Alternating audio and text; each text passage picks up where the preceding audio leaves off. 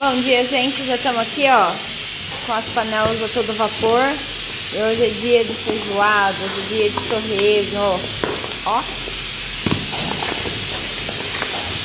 Aqui, ó, os molhos no fogo. Ali, ó, o torresmo estando pronto. Vamos começar agora o serviço do sábado. Olha essa feijoada. Torresmo, nhoque, batata, costelinha de porco. Nossa farofinha que é sucesso. E olha que coisa linda esse ratatouille.